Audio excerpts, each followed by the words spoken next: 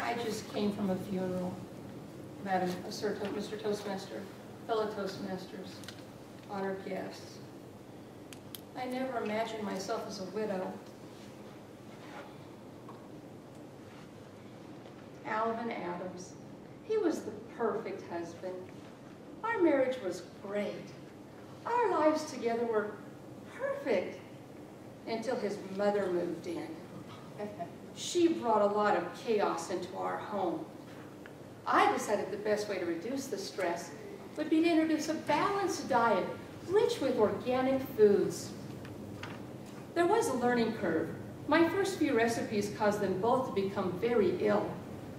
But with practice, I became quite adept, and my omelet proved to be very tasty.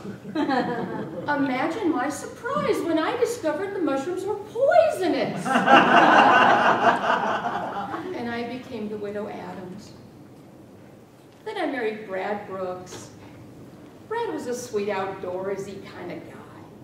Now, I'm not an outdoors person, but I found his love of hunting attractive until I was left behind again and again when he went hunting with his buddies. I decided the best way to spend more time with him would be if I took up hunting.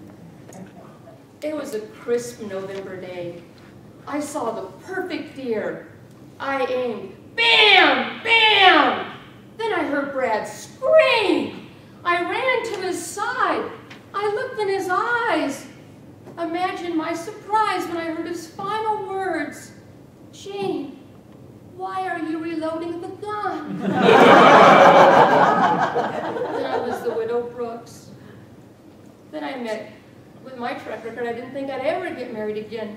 But then I met Carl Crane. Carl was a great husband and an avid cyclist. Why, rain or shine, he rode his bicycle at least 20 miles a day. Coincidentally, Carl Crane's continual cycling caused constant chaos and a curious catastrophic conclusion. It was a very foggy day. I shouldn't have been driving. Imagine my surprise when an object appeared out of the fog. I slammed on the brakes. It was Carl. But no matter how hard I pressed that right pedal, the car only picked up speed.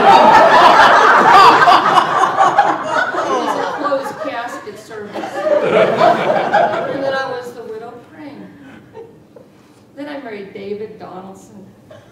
David was a delightful husband, but very forgetful. He could never remember to put the toilet seat down. We argued, and then David became very unlucky. Twice the brakes in his car went out. Once, once the microwave fell and barely missed his head. An electrical short caused a fire in his office. He even lost part of his foot in a lawnmower incident.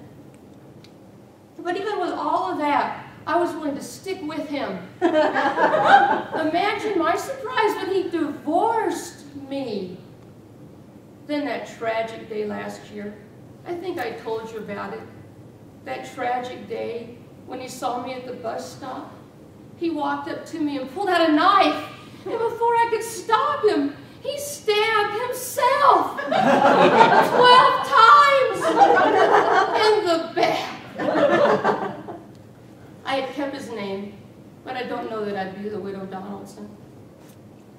Then I married Eric Edwards. Eric is hard to talk about. He was an attorney and definitely a type A personality. It seemed that nothing could ever please him. I think that's why he turned to drugs. It was very difficult for me. I had never been in a relationship with an addict before. Imagine my surprise when I discovered his drug addiction to arsenic. and now I stand before you as the widow Edwards.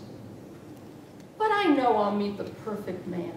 And my sixth marriage, it'll be the one that will last.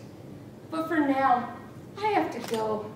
I have an appointment with my insurance agent, Fred Franklin.